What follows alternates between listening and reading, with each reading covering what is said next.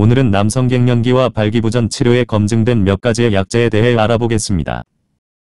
인간의 정력은 최고 80세 이후 오랜 노년까지 지속되는 것으로 알려져 있습니다.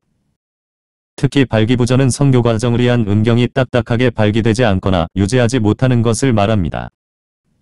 최근 중장년층뿐만 아니라 젊은 세대에서도 발기부전과 같은 성기능 장애가 크게 늘어나고 있는 추세입니다. 잦은 발기부전은 비만과 알코올 중독, 심장질환, 흡연 등을 비롯해서 치료가 필요한 건강상의 문제가 원인이 되기도 합니다. 일반적으로 성행위를 30분과 1시간 한다고 자랑하는 사람들이 아주 많지만 이것은 허풍이라고 생각하시면 됩니다.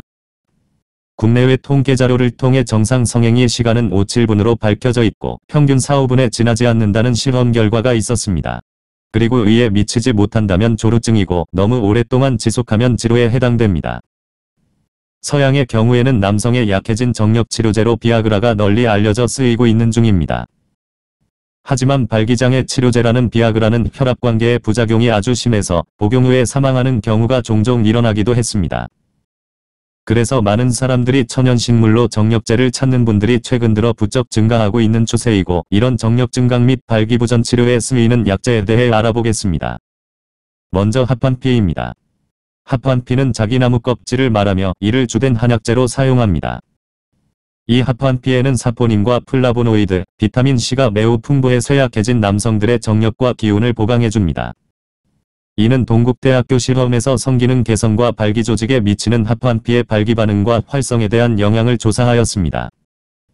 주요 실험 내용 중에 합환피 추출물을 21일간 100mg씩 경구 투여한 후에 합환피가 발기 기능에 미치는 효능을 확인하였습니다. 그 결과 하프안피는 에탄올로 유도된 성기능 개선과 발기 이상을 치료하는 데 매우 효과적인 제재가 될 수 있음을 시사하였습니다. 하프안피는 줄기 껍질을 벗겨내고 물에 며칠 담궈 두었다가 햇볕에 말려서 잘라 사용하면 됩니다. 말린 약재는 20g의 물 1리터 정도를 부어서 달여 마시면 되고 하프안피에는 알비토신이라 독성작용이 있어 대추와 감초를 넣고 해독을 시켜 먹어야 합니다. 또는 하프안피를 술에 담궈 숙성시킨 다음에 6개월 후 드시면 비아그라 담금주가 되어 남성 발기부전과 정력 증진의 효과를 볼 수가 있습니다. 주의할 점은 많은 양을 한꺼번에 먹으면 오히려 부작용이 따를 수 있으니 꼭 적정량을 지켜서 드시길 바랍니다.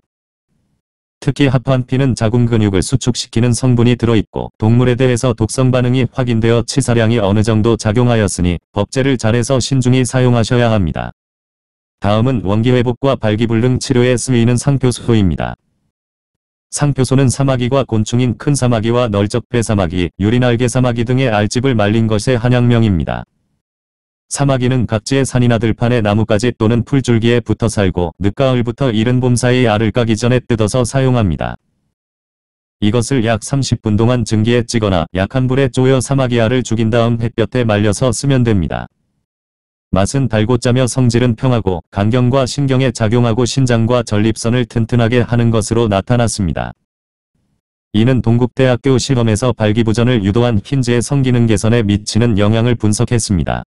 먼저 성기능 개선 효과를 규명하기 위해서 시메티딘을 30일 동안 주입시켜 발기부전을 유도한 흰지를 대상으로 과산화지질 및 테스토스테론 함량, 음경 발기능 등을 검토하였습니다. 첫 번째 발기부전에 대한 음경해면체 조직 중에 혈액의 유입을 원활하게 하였고 혈액이 정상적으로 유입되었습니다.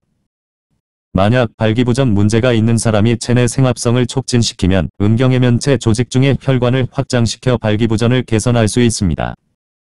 두 번째 상표소 성분들은 테스토스테론의 분비를 촉진시켜 저하된 남성의 성기능을 강화시키는 효과를 지니고 있음이 나타났습니다.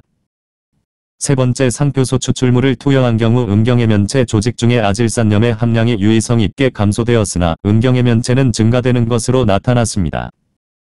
네 번째 생합성 활성에 미치는 영향을 검토한 결과에서는 상표소 추출물 투여로 인해 유의성 있게 회복되는 것으로 나타났습니다. 이상의 실험 성적들을 종합하여 보면 상표소는 음경해면체 활성을 증가시키고 생합성을 촉진시킴으로써 발기부전을 개선시키는 것으로 확인되었습니다. 또한 음경조직 세포에 대한 항산화 작용에 의해 음경조직의 피로도를 경감시켜 음경의 발기능을 정상화시킬 것으로 사료되었습니다. 상표소는 하루 4에서 12g을 산재와 환제 및 탕제 형태로 만들어 먹으면 되고 유정과 윤뇨증, 백탁 빈뇨, 대하증 음이증 등에 사용하시면 됩니다. 주의할 점은 생리적 기능장애가 있거나 사기가 왕성한 자, 안면홍조 알레르기 등에는 쓰지 않는 게 좋습니다.